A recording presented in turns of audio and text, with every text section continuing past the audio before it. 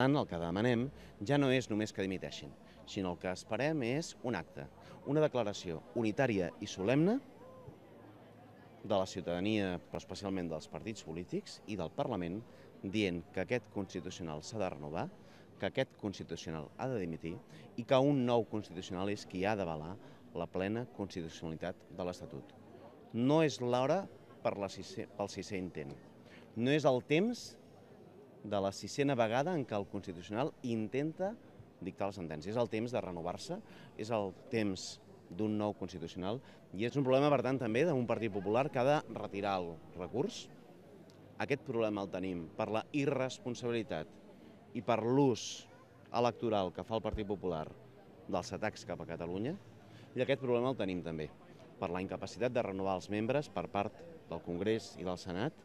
i és per això que nosaltres el que demanem és un exercici de responsabilitat a Partit Popular i a Partit Socialista. A Partit Popular perquè retiri la, la, el recurs davant del Constitucional, però al Partit Socialista perquè forci la màquina per renovar els seus membres i perquè acabi coincidint també a Madrid amb el sentit comú.